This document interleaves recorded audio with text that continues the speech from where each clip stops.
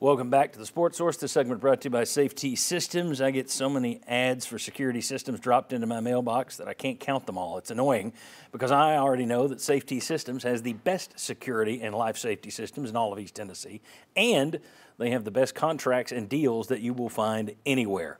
Safety Systems. Call VFL JJ Surlis this week. All right, I want to do some quick hitters. I built those in so we can catch up on the fact that we're way, way over. Josh. Will Hendon Hooker get a trip to New York as a Heisman Trophy finalist?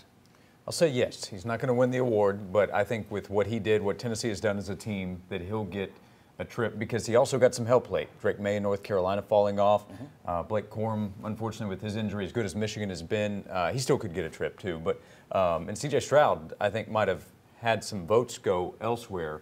Caleb how, Williams, perhaps. Yeah, Caleb Williams is your winner, but uh, I think Hendon Hooker is going to get a trip to New York.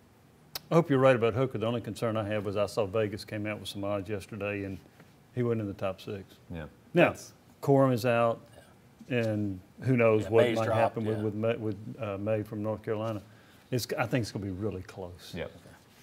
I'm surprised you guys think it's Williams easily. I think I think there's a good chance Stroud still wins it. I think Stroud threw it to him yesterday. All right, Jimmy, do you believe Joe Milton can make big leaps this offseason? Uh, not really.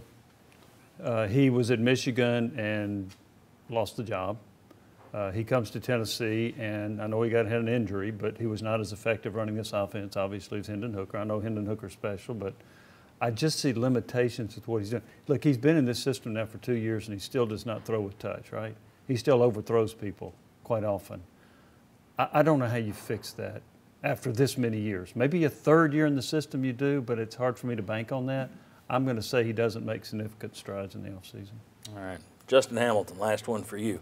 Joe Milton didn't have any rushing yards last night. He's not the running threat Hendon Hooker was, and that's led everybody to say, well, this system, you have to have a runner as your quarterback.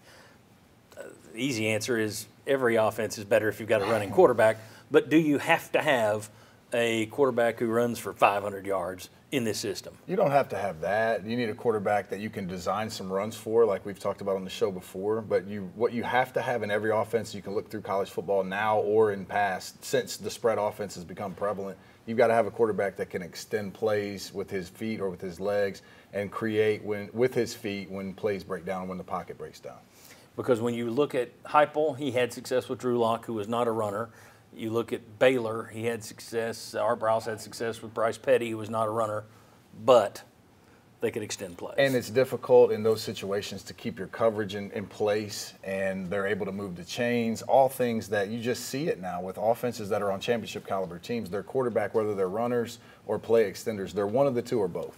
There was one play last night where Milton kind of ran around back there, and it was an incompletion. He got rid of the ball but I was wondering, why don't you just take off? Mm-hmm. He's not a guy that wants to take off, and uh, it'll be interesting to see. I think he'll be, I think he'll be a, a hoss down inside the five yard line on those those option plays. But elsewhere on the field, he's not going to be the running with, threat that Hooker has been. I do wonder, with backup concerns, was he advised, "Hey, that may be it. Avoid at all costs running the football." That's, that's a great point. That's a very I good point. That. I think he's a capable runner, but a reluctant runner. And he's not he's more of the Tebow Bull style than he is the elusive scrambler. And you see, you design running plays for your quarterback. You may see him put on the shelf at some point during the season. That's the give and take with that. All right, when we come back, let's look back at the 2022 regular season from start to finish. Where does Tennessee rank? If we're taking, if we're having to back one of these teams as our horse for the year, where does Tennessee rank? You take them just behind Georgia, take Alabama over them. Where are we going? Let's rank the seasons in the SEC next on the Sports Source. Away from home? Watch the Sports Source live at WATE.com.